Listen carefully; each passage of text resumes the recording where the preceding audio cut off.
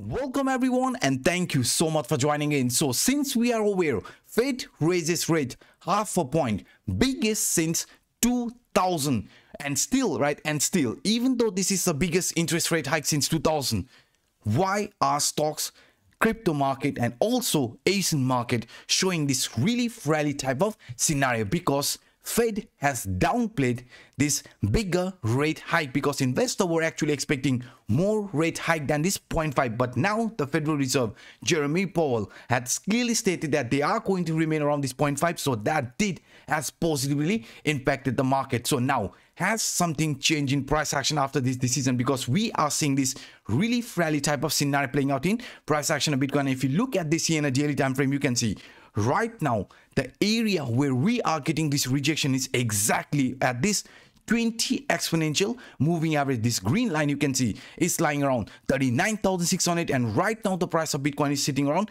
39,500 so if the daily manages to find support above this 20 exponential moving average this green line then the next possible target is going to be this red line which is 50 exponential moving average. And this 50 exponential moving average is lying around 40,700 price area because we know right now this indicators here to the downside is also changing the direction because now this MACD has clearly flashed this bullish cross but RSI is still below 50 level and also the T2CCI in a negative territory. So for an actual breakout, the 20 exponential crossing of 50 exponential moving average, 20 exponential crossing of 50 exponential moving average, whenever this has happened, then we have seen some really bullish price movement playing out in price action of Bitcoin. So that's why if this is an actual breakout type of scenario, then we have to find proper support above this 20 exponential moving average and also break out of this 50 exponential moving average, which right now is lying around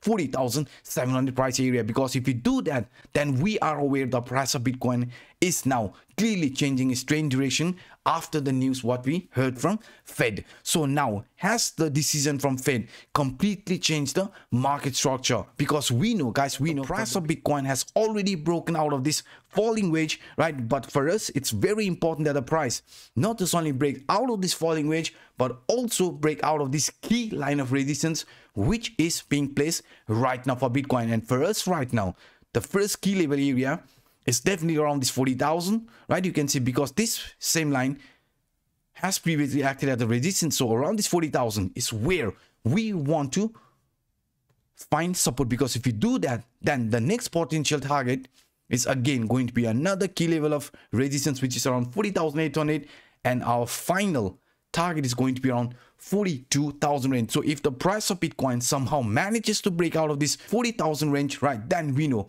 we are also going to break out of this 20 exponential moving average and then the next potential target is also exactly this 40,700, 40,800 price range. And this is also the exact area where this 50 exponential moving average is lying around. So that's why for us in a daily, the price of Bitcoin must break out of this 40,000 and find support above it. And not just only this one here, guys. If you also look at the price action of Bitcoin using this CPR indicator, according to the CPR indicator, the price of Bitcoin has re-entered above this CPR line. And now, since we are already above this bottom CPR line, this is no more a VCPR. The power of VCPR, it always pulls the price towards the CPR line and only after reaching around the CPR line, it chooses a trend duration. And right now, since the price of Bitcoin is inside the CPR line, the line which is the bottom line which is lying around 39,200 is definitely going to be one strong line of support for Bitcoin if we are going to see any sort of a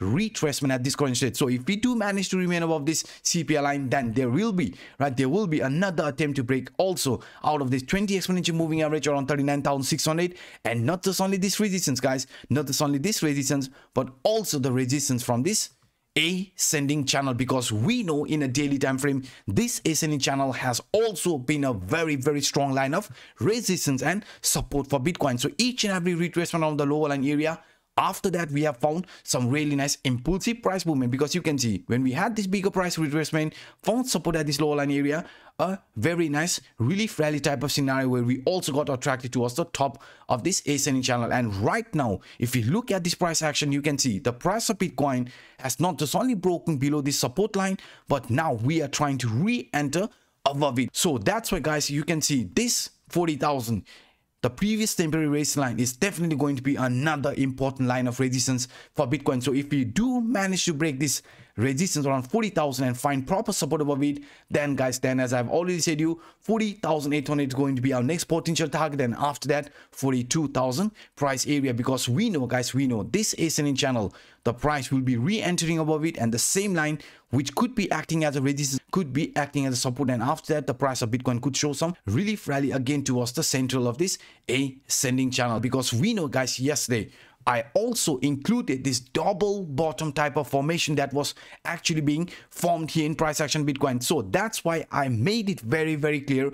If the price of Bitcoin in a medium short term is going to break out of this 38,500 resistance line, then the next potential target is around this 39,500, 39,600, right? And also breaking out of it we could be heading towards this 42,000 range. And now if we look at this double bottom formation, right, it did played out very well. And if this retracement is going to happen here in the medium short term, then you can see around this 39,000, we could be finding a very strong support. And this could also be a retest of this previous temporary resistance line. And if we do manage to stay above the 39,000, then you can see we could be also finding support at this bottom CPR line right and after that the price of bitcoin could show again another move in here to the upper direction and if that is going to happen then you can see guys let me add this Fibonacci extension line from this swing high sorry swing low till this swing high and price retracement towards this 39,000 area. Let's suppose around this area. Then you can see the 100% Fibonacci extension line will be around 41,500 so that's why we have to remain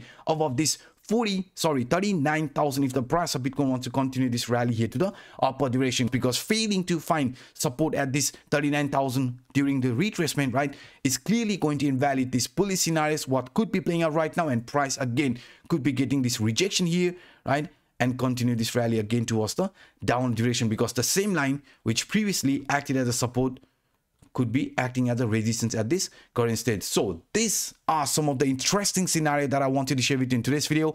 If you enjoyed my work, then please hit the like button. And also for those individuals watching this for the first time, hit that subscribe button and the bell. So by saying this, I'm signing out. My name is Anup. Bye-bye.